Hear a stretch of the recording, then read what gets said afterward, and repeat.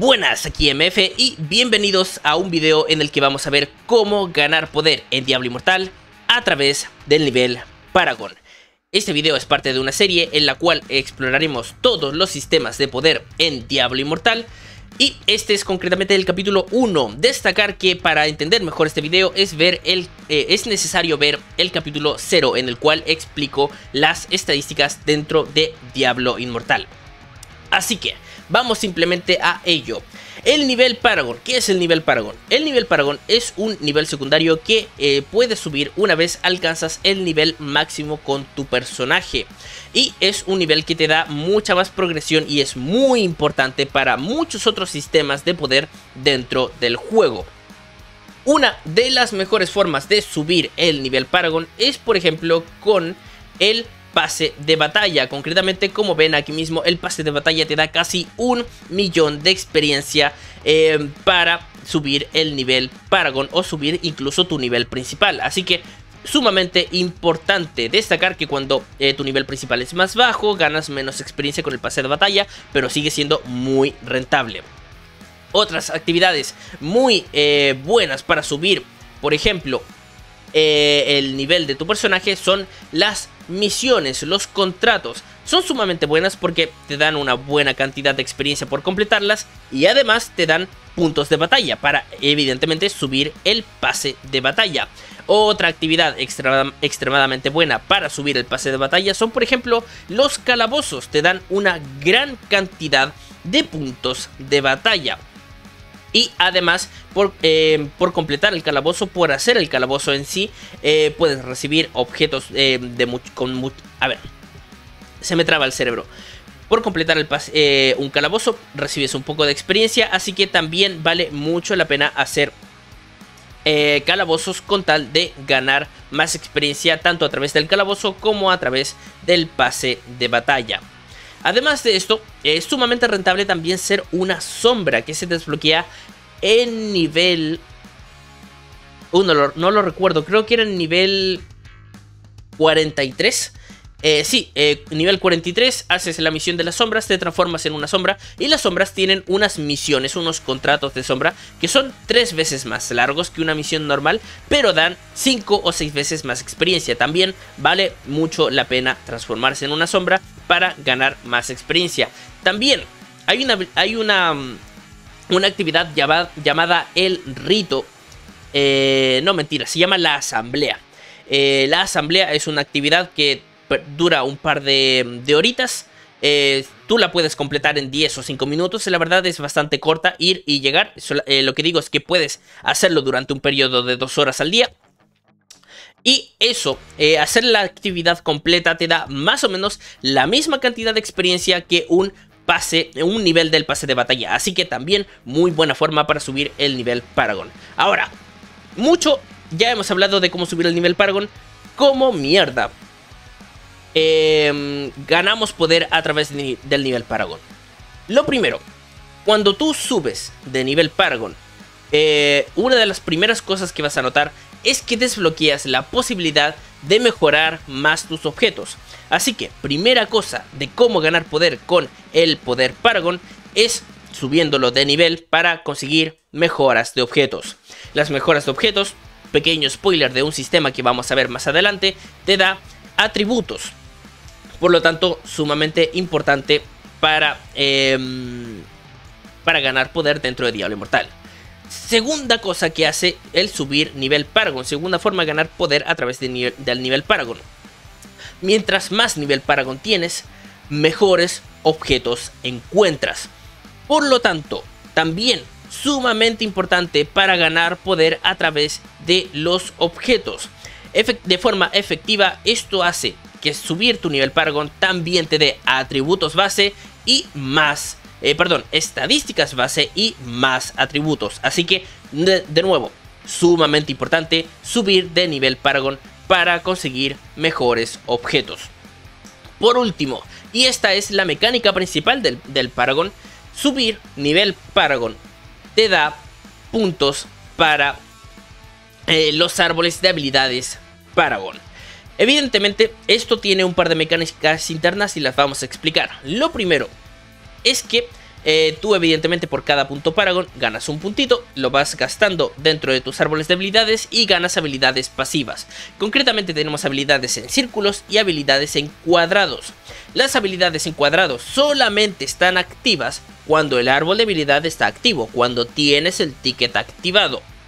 Mientras que las habilidades o las pasivas más bien que están en círculos siempre están activas, sin importar si tienes o no el ticket, si tienes o no activado el árbol de habilidad. Ahora, en general, ¿qué nos da todo esto? ¿Qué nos da gastar puntos Paragon aquí? En general, nos dan atributos base, perdón, estadísticas base, nos dan habilidades pasivas y algunas mejoras bastante interesantes. Por ejemplo, en este árbol de habilidad tenemos que nos dan más inventario si subimos este eh, esta parte del árbol de habilidad. Así que es sumamente, eh, sumamente importante revisar todo lo que tiene cada árbol de habilidad para ver qué te gusta.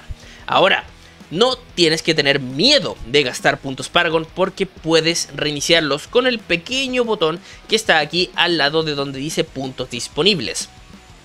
Hay que destacar que este botón te permite reiniciar tus, puntos Paragon una vez cada 7 días.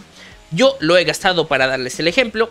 Como ven, aquí me dice que no puedo reiniciar mis puntos Paragon hasta dentro de 6 días y 23 horas. Es decir, tú reinicias tus puntos Paragon, los gastas nuevamente y puedes eh, luego dentro de 7 días volver a hacer lo mismo si es que quieres. La verdad yo no quería, yo simplemente lo hice por dar el ejemplo en este video de qué sucede si reinicias tus puntos Paragon.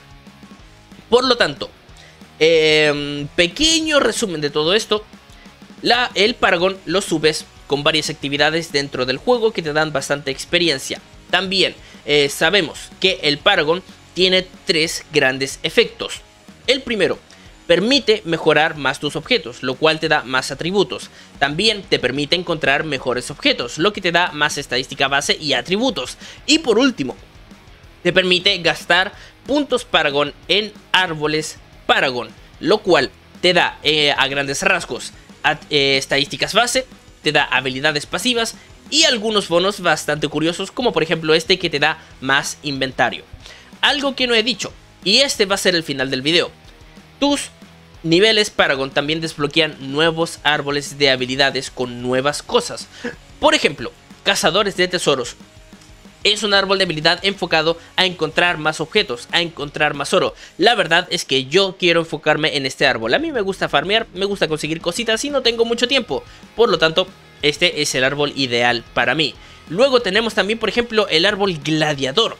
Este es un árbol eh, de habilidad, un árbol Paragon enfocado en el PvP, enfocado en matar jugadores eh, dentro de los modos PvP. Así que un árbol muy bueno, evidentemente para todo el que disfrute del PvP. Luego tenemos un par de árboles de habilidades que no tengo ni puta idea qué hacen. Sé, por ejemplo, que Mente Maestra eh, es un árbol de habilidad que te da bonificaciones cuando estás en grupo. Cuando tu grupo eh, tiene diferentes personajes o ciertos personajes, mente maestra, el árbol de mente maestra, te permite conseguir bonificaciones dependiendo de los personajes que están en tu grupo. Muy, muy, muy curioso. Y soldado no tengo ni puta idea qué es soldado. 150 dividido en 2 son 75, esos son dos meses. En dos meses vamos a ver más o menos este... Mm, en qué consiste este Paragon. Y es que no lo había mencionado, el Paragon tiene una pequeña mecánica de limitación. Vamos a ir extendiendo más este video para hacerlo lo más completo posible. El nivel Paragon eh, está limitado por un nivel Paragon de servidor. Como pueden, ver aquí, como pueden ver aquí, el nivel Paragon de servidor es nivel 40. Ese nivel Paragon de servidor aumenta en 2 cada día. Y eh, es independiente de los jugadores, por así decirlo. No importa qué nivel sean los jugadores dentro del servidor, el nivel Paragon simplemente sigue aumentando. Cuando estás por debajo del nivel Paragon, recibes bonificaciones de experiencia. Cuando estás eh, por encima del nivel Paragon de servidor, recibes penalizaciones de experiencia.